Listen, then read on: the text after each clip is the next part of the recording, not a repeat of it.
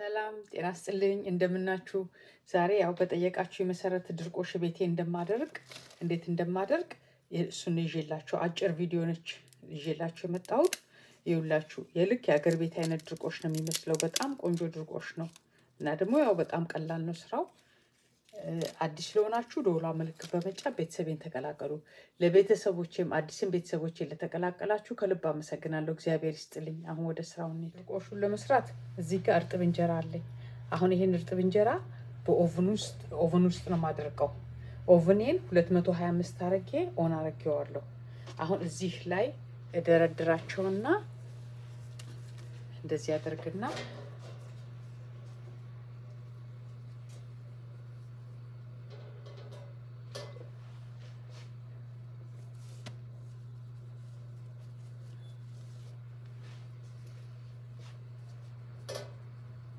በጣም ቀላል ነው። እንደገና ደግሞ oven ኡ በጣም ቆንጆ ነው የሚያደርቀው። ልክ በፀሐይ እንደደረቀ ነው oven ኡ የሚያደርቀው እና እንደ ጋዛችን አይነት ይለያያል። የኔ የስቶቬ የጋዝ ስቶቭ ነው እና እኔ አሁን 225 ላይ አድርጌ ነው የማድርቀው ሁልጊዜ እና አሁን oven ውስጥ እከተዋለሁ።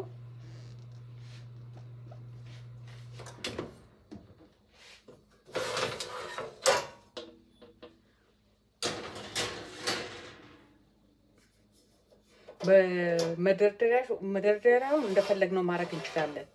እኔ ያደረኩት ይሄኛውን በብስኩቱ መደርደሪያ ከላይ አድርጌ ነው።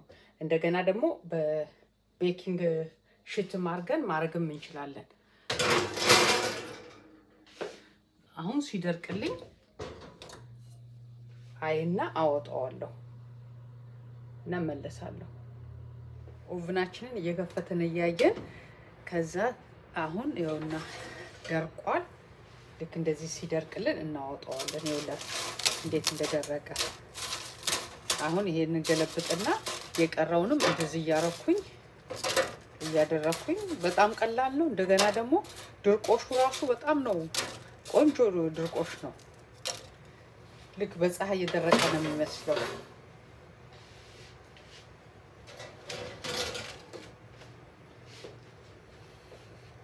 ይኸውላችሁ እንዴት እንደደረቀ ይኸውላችሁ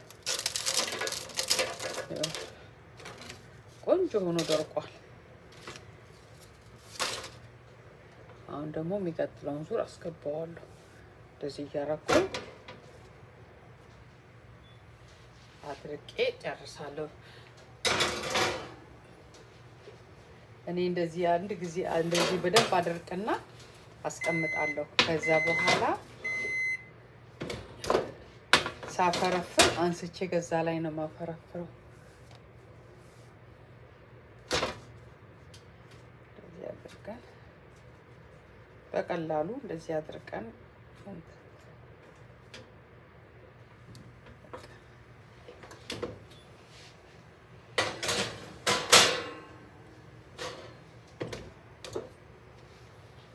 እንደዚህ አድርቄ ጨርሼ እመለሳለሁ። ድርቆሻችንም እንደዚህ እንዳያችሁት ቆንጆ ሆኖ አልቋል። ስራውን በጣም ቀላል ነው። እንደገና ደግሞ ይኸውላችሁ ልክ እንደ አገር ቤት አይነት ድርቆሽ ነው ይኸውላችሁ። ስት ደግሞ ስናፈረፍረውን በጣም ቆንጆ ነው እና እንደዚህ ሰርታችሁ ቤታችሁ ሞክሩት። ስለ ጊዜያችሁ በጣም አመሰግናለሁ።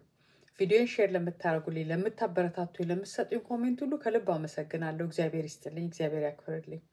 አሁንም ይሄን ቪዲዮ ከወደዳችሁት like፣ share፣ subscribe አድርጉልኝ። አዲስ ለሆናችሁም ደወሏ ምልክት በመጫን ቤተሰቤን ተቀላቀሉ። ለቤተሰቦችም አዲስም ቤተሰቦቼን ለተቀላቀላችሁት ከልብ አመሰግናለሁ። ሀገራችን ኢትዮጵያን እግዚአብሔር ይባርክልን፣ እግዚአብሔር ይጠብቅልን። በሚቀጥለው ቪዲዮ እስከምንገናኝ ሁላችንም በያለንበት ቸር ያቆየን። ደህና ሁኑ bye